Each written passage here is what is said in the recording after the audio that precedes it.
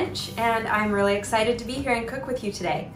I am the author of the new book Live Life Deliciously and we're going to be making a few recipes out of this today. This is uh, just out and I'm excited to share what's inside. So let's get started.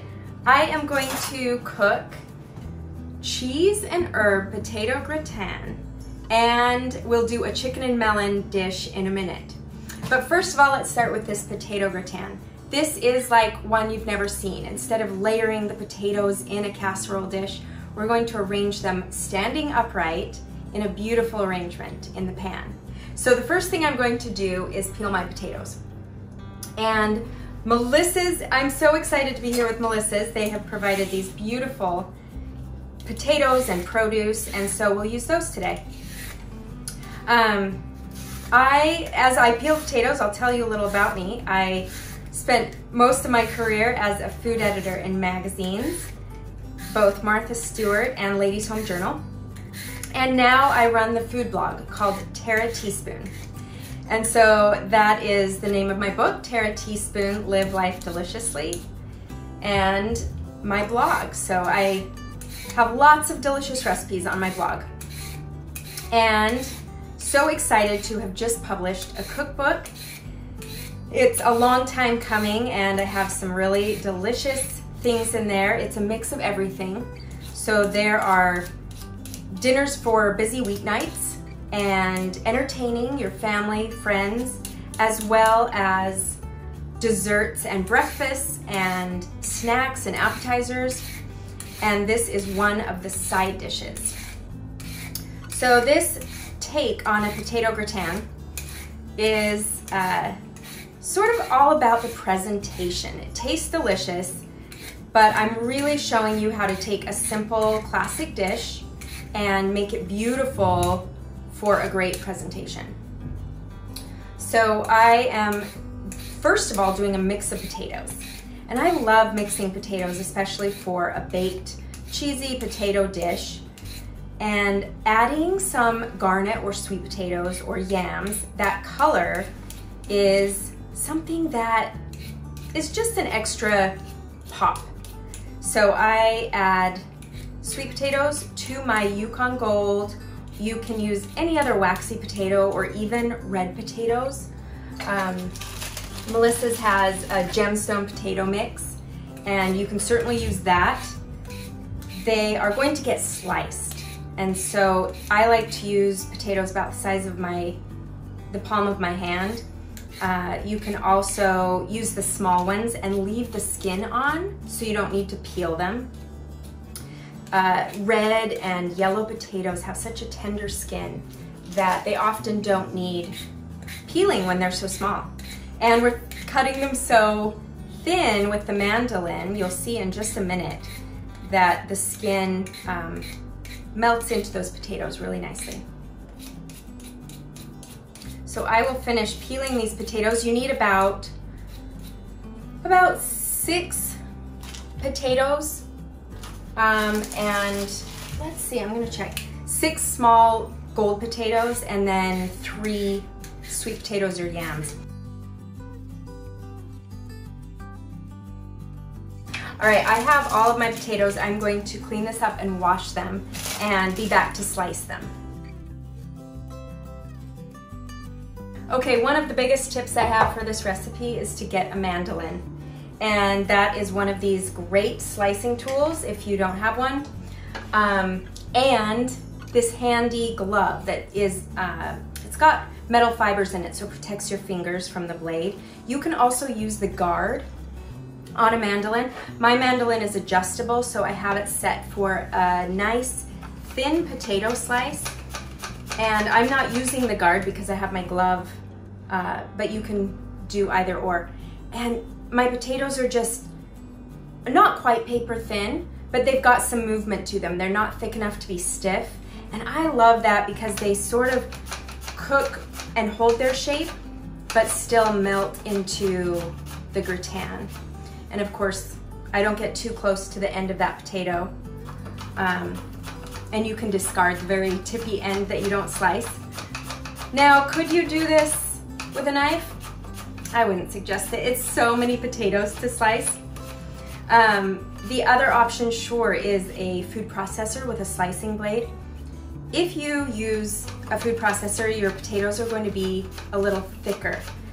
Um, and you're going to want to cook it covered with the foil a little longer. And we'll get to that step and I'll tell you a little more about that. Everyone's oven is different, obviously. And so I like to encourage people to, you know, adjust cooking times and add or subtract as they go. Make sure you're setting the timer for a shorter range and checking your food as you go. So this is my first pile of potatoes that I'm going to put in my large mixing bowl. So you want a pretty hefty sized mixing bowl because we're going to toss these potatoes with some cheese and herbs and it's just easier in a larger bowl. And we're just using simple ingredients. Potatoes, a mix of cheeses, and some broth and half and half, or milk. So these are gonna be so pretty. I love adding color to a dish that traditionally might be brown and how fun to add orange, garnet, or you know, the reddish orange potatoes, especially as fall and winter come and they're much more in season. They just add that variety to the dish as you present it. So look how easy this mandolin makes this job. It goes, it takes some time. It's probably the most time consuming part of this recipe is just to get your potatoes perfectly sliced and it's well worth it. Okay, so as that gets a little tricky, I'm gonna let that nubbin go. Keep adding my potatoes to the bowl. This may look like a lot of potatoes, but if you've made a gratin and layered all of those potatoes, you know that it takes quite a few layers of the thin potatoes so that you have flavor in between each layer. That's the nice thing is you don't have large pieces of potato the inside might not have as much flavor. You have these thin, this thin surface area to cover with the herbs and cheese. And you'll really see in the end result what that does. Okay, Sweet potatoes are almost done, which I love. And then I'll finish off with a couple more yellow uh, Yukon Gold potatoes. And these are nice and buttery and smooth. I don't typically use um, a russet potato or the more mealy potatoes in my gratin. I like the buttery texture with the cheese. You certainly could. No one is telling you not to use those, those potatoes. They are great for mashed potatoes or whipped potatoes. The mealy, drier texture makes mashed potatoes so nice and fluffy, whereas um, a baked casserole type dish is so happy with um, a, a waxy or softer potato. And I simply use a regular yellow onion. You could certainly use a um, white onion, even a red onion, but it might not be, I, I like these to melt into the dish and almost be undetectable other than the flavor. Um, I do add a little garlic powder to my potatoes, but I don't add fresh garlic to this dish. I think it's a little overpowering with the nice cheese and um, different texture. So I, I skip the garlic, the fresh garlic in this dish. So we'll get that outside layer of the onion off. And this, you could certainly cut it in half moons or slices. But in a gratin, I like the onion be not to be kind of stringy as you bite into it. So I just cut it in, in half or in thirds and thinly slice um, through those slices. So I'm getting almost a chopped onion, but they're very thin slices right there. And those thin slices uh, will melt into the potatoes and almost with every bite you won't even know they're there other than the flavor. And we'll measure that. Just a little more than half a cup, but it will be so good. All right, add that to your potatoes as well. So this recipe is so great in that you can use fresh or dried herbs. And Melissa's has sent me these beautiful fresh herbs. Um, so that is ideal when they're in season, when you can get big bunches of herbs um, to use fresh herbs. And I am gonna do that today. So my recipe calls for dried herbs. All you have to do is double the amount of fresh. And same thing, if you're doing another recipe and it calls for uh, fresh herbs and you only have dried, just use half the amount, sometimes even a third depending on the herb. Um, because they're, they're more, they're stronger, um, and so you want that different amount. But in this, we have that uh, perfect trio of herbs. It's sage, rosemary, and thyme. And then I'm putting in a little parsley. And like I said, I'll add dry garlic instead of fresh garlic. So I'm just pulling the tough stems off my herbs. Um, now, if you are a fresh herb user, here's my tip. If the stems are tender, eat them. You can totally use them. You do not have to pull every single tiny leaf off of your herbs, um, your herb stems, uh, especially thyme. The very tip of that thyme is often so tender, you don't need to uh, pull the leaves off of it. I strip my fingers down the stem of the thyme and then I just pop that tender tip off and use it. So I'm not worrying about um, getting all those little tiny leaves off. And that's my quick way of doing herbs like thyme and rosemary. Just pick through, get the tough stems off. Easy, easy. And these herbs Melissa sent me so many beautiful herbs to use in this gratin and I'm so happy it calls for all of them. It really adds a lot of flavor. Now the thing with using dry herbs is this is a year-round recipe. So when you have when you're in the winter and there's not as many fresh herbs around, absolutely use uh, your dry herbs. And that's another way. Do you ever fill your spice cupboard with so many spices and for recipes and then you don't really use them. So they kind of sit there. This is a great way to use those dried herbs and spices in the winter. Okay, I'm going to get the right amount. So my recipe calls for one and a half teaspoons of parsley, half a teaspoon dried thyme, half a teaspoon ground sage. So all of these herbs I'm going to chop and as I said, use double the amount.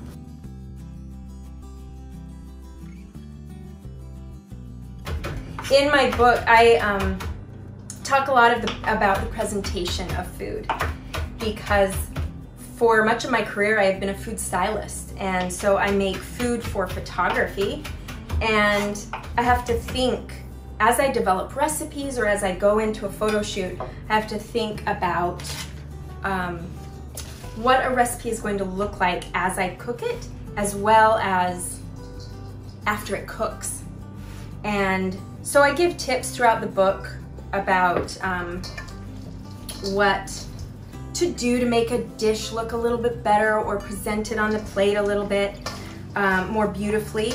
And I just think we eat with our eyes, right? So you want you want your food to look good as well as taste good. Okay, I am taking those slices of potatoes and sort of breaking them up. They're, they like to clump together so that I get these herbs in between each one. The onions are in there. And then I'm gonna add my cheese. Now, funny enough, we're not adding a ton of cheese.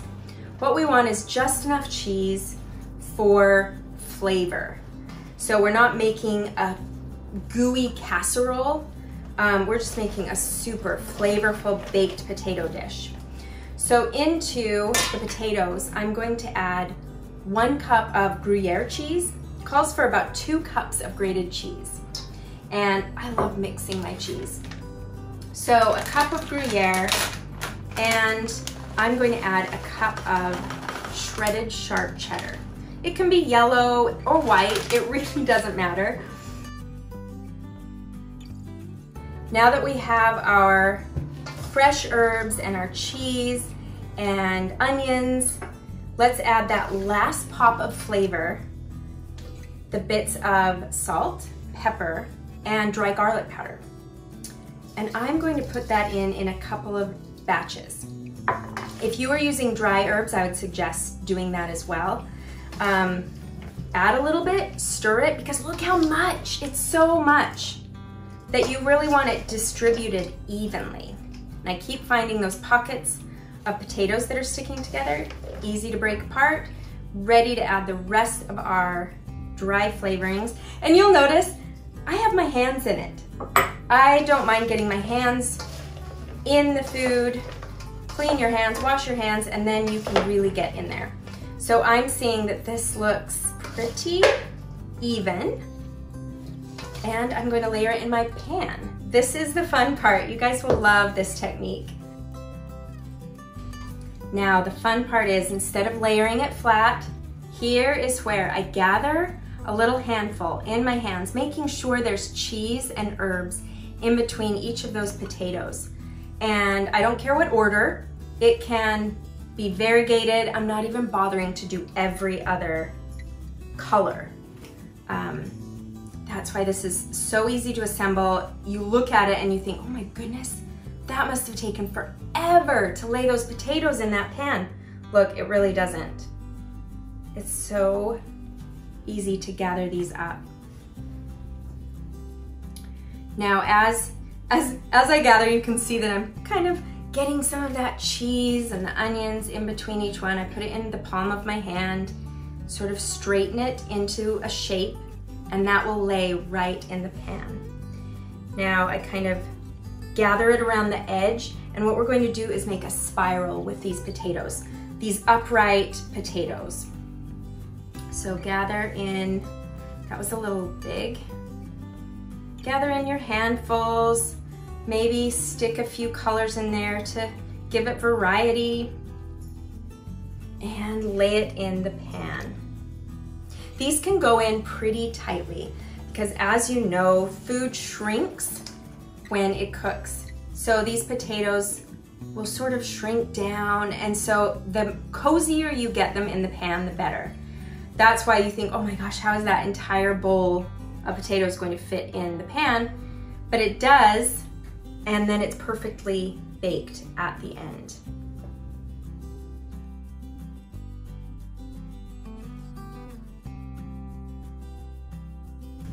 That was a really yummy cheesy bite, and I'm going to squish it in so I get a last layer right around the edge of the pan. Can you see that?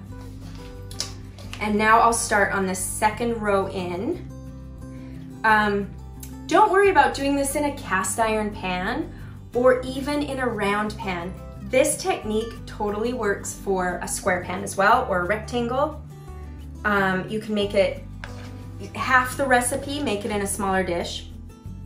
I want to encourage you to make it your own. So that's what I also love about my recipes. Use them as guides. Make them once, uh, the way they're written so you know what the result is going to be, you know how long to cook it, and then experiment on your own. So you can see as I wedge it in the pan, it's pretty tightly wedged in there. Um, so you'll feel it as you do your own. And we'll just get those last bits in. Right now it's all about the look. It's about making it look pretty and then it will bake pretty. Does that make sense? So I'm going to, look, I've got maybe a cup of potatoes left. Easy to set aside. You can throw this in, a, in another little dish. Um, but this is pretty tight right now, so I'm not going to put any more in. What I am going to do is sprinkle the rest of those bits of cheese and onion on the top, and it will create some nice opportunities for browning. So I, I cook this with foil on it for the first about an hour, almost 50 minutes to an hour. And then I uncover it and that's when those bits on the top get to caramelize and the potatoes get brown. It, it's amazing. I'm gonna go wash my hands, we'll get this in the oven. Okay, one of my tricks is I love non-stick foil. if you can grab some non-stick foil, that will be your best friend for this dish. If not, take regular foil, spray it with some cooking spray or rub it with butter and it will go right over the top. Okay, just before that goes on the top, you want to add your liquid. This is just a half a cup of chicken broth. You can use vegetable broth if you are uh, serving a vegetarian, and it's a half a cup of half and half. You can also use whole milk. You can use cream. I wouldn't recommend it. It just makes it a little thick. We just want that liquid to help cook the potatoes. So find your non-stick side, cover this pan, and what's going to happen is, as you seal this, it's going to steam and the potatoes are going to cook. And then we're going to take it off after about 20 minutes and cook it open air in the oven for about 20 minutes and it gets nice and crispy. So I'll add this to the oven. Now, of course, I had one already completed so we can taste it. And it is best when it gets a, a few minutes to sort of sit and settle. It can be anywhere from 10 minutes to 20 minutes that it just gets to sit out of the oven. And you can see how gorgeous that is.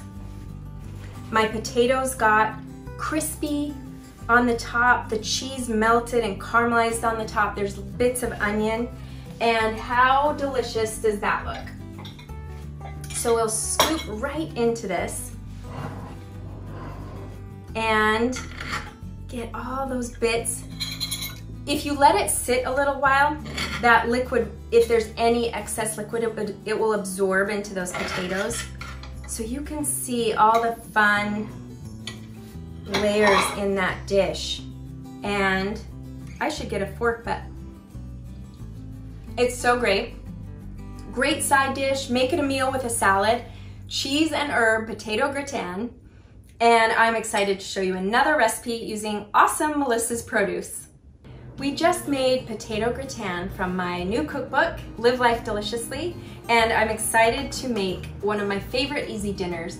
It is chicken, adobo chicken with a melon salad. So it is so refreshing and quite an easy dinner. Something you can get in the fridge marinating and put together in just a few minutes. So this is going to be a refreshing, delicious, and easy meal. Let's start. I'm going to make an adobo marinade. And you have probably, you're wondering where the chilies are, right? The Mexican chilies to make adobo. But adobo is also a Filipino flavoring. And this one, the Filipino version, starts with garlic and soy sauce and citrus so it's very different than a Mexican adobo. And I think it's super versatile. So I'm starting with some garlic and this marinade has three cloves of garlic. So those go into a blender. That's the other part is we're gonna blend all of this good stuff together. And about five and a half tablespoons, a third of a cup of soy sauce, which is that nice salty umami flavor, some water, and we'll do a little apple cider vinegar. Now you could absolutely add a different vinegar if you wanted to. Vinegar adds that nice acidity. Um, and apple cider vinegar has a bit of a sweetness to it, so I like it. It's a little more mild. I think it's great in this recipe. And a couple of tablespoons of fresh lime juice. So important to get that bright citrus in there. The other thing I love doing is adding the aromatic zest from citrus to a marinade because then you're not putting it right in your mouth, but you get the oils from the citrus zest imparted into the, the meat and the chicken. So I'm just going to zest one or two limes. You want about, let's see, one teaspoon of lime zest, and that will go into the marinade as well. And I have a nice fine microplane grater here that I zest my citrus with. So we'll get a teaspoon now this adobo is, like I said, so versatile. I use it on pork tenderloin in the cookbook. You'll see I have an adobo marinated pork tenderloin recipe. Easy, you can do it on the grill or in the oven, and that citrusy, strong soy flavor is so great.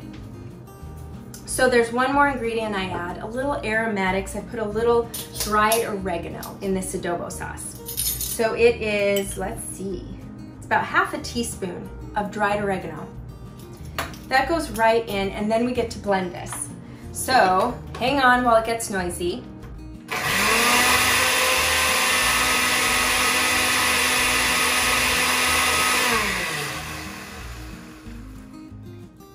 What blending a marinade does is you saw that I put all of that delicious garlic in and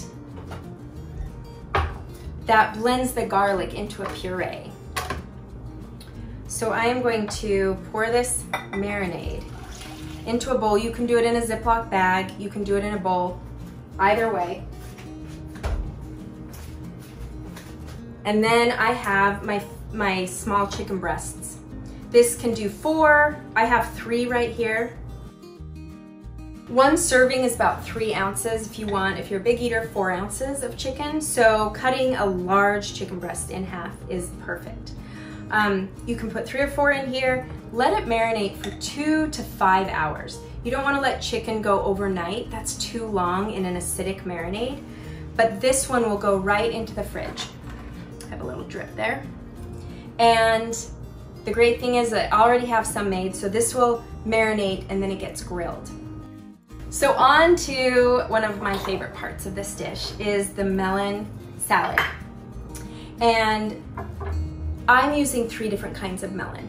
You can just use one. The flavors are great with just one kind of melon. Um, but I love, I love the variety. So I have watermelon, cantaloupe, and I'm gonna use honeydew. Um, start by, you don't need too much melon for this salad, so you're not going to need a whole melon of each one. So I'm just going to cut the end off, I'll show you my trick, so that it lays flat, and then cut, oh, a half to a third, depending on how much you want. And I'll set that melon aside. Same thing with the watermelon and the honeydew. This is a beautiful mini seedless watermelon, which I love. It's great for a dinner size small family. And then I'm just going to cut about, I don't know, a two inch strip of that watermelon. We won't even use all of that for this salad. Put that over here. Now, let's do the rind. So this is my favorite trick is just cutting the rind off instead of cutting it into slices and then cutting the rind off. This is an easy way to get a lot of that rindless fruit quickly. Our cantaloupe, let's take the seeds out of that. Easy to scrape those out and you have that nice center. And your cantaloupe and your honeydew, you can absolutely cut into wedges and then slice it. What we wanna do is create beautiful slices of melon for our salad. And as I've talked about, I work a lot in, in food styling. So I am very aware of, hey, how can I make this dish look beautiful as well as taste good? And so that's part of it, is just figuring out how my melon is going to look best for this salad. And part of that is three colors of melon. Look, already we have so much beautiful color here. Our platter will be amazing. That other tip I had, sharp knife, always wonderful for cutting through melon, squash, things like that. Keep your fingers out of the way and cut through that melon.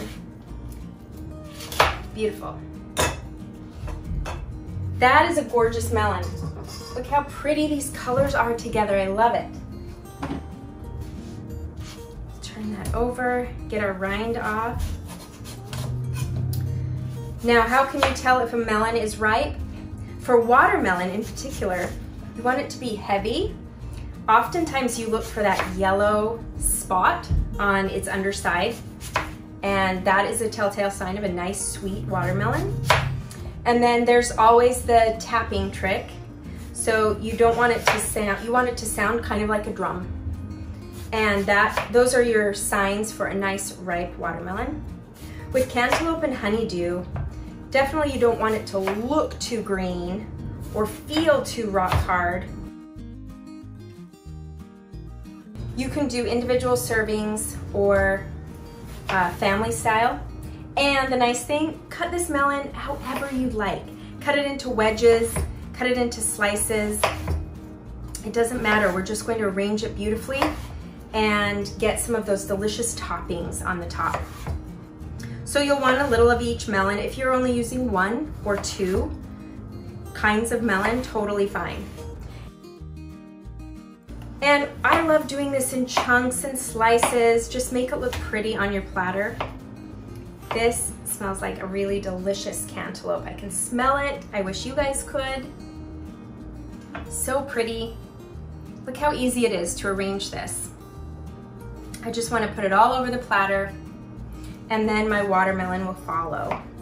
And it's this beautiful tri-color situation right here. And watermelon, I kind of love cutting it into thinner slices. It's kind of fun to eat and it absorbs all the flavors from the toppings and the dressing. Slices, I'm just going to cut them into little smaller pieces and arrange those on the platter. So pretty.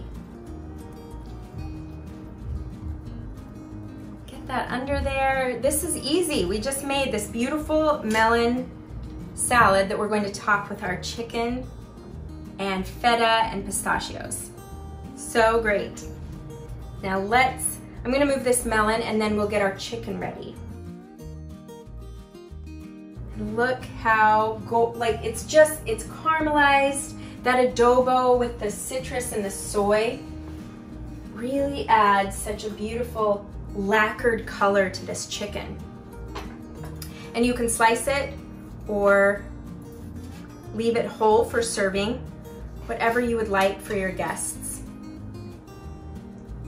So pretty. The adobo marinade that was on this chicken, guess what? You don't throw it away.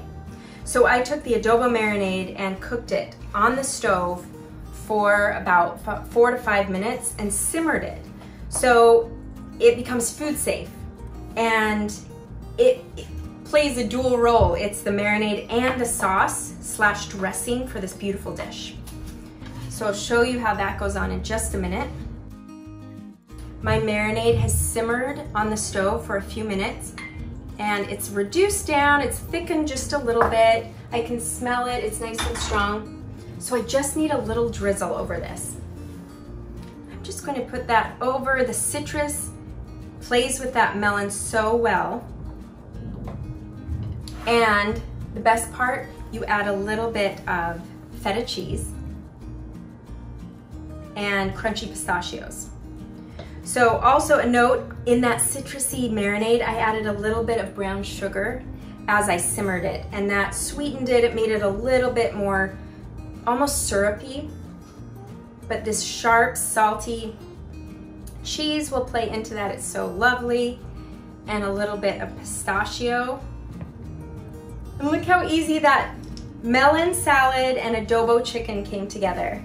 It's one of my favorite um, meals. It's so easy and fun. Look at this beautiful mint. You definitely want some mint on this salad. Could you use another herb? Absolutely. You could do basil, something delicious and tender. Maybe a Thai basil, purple basil, regular. But I'm so glad I didn't forget the mint to add such a nice fresh flavor. Oh, beautiful. And you can smell it, I love it. Thank you to Melissa's for having me. Thanks for joining me and making these beautiful dishes from my cookbook, Live Life Deliciously. I am Tara from tarateaspoon.com and so happy to cook with you.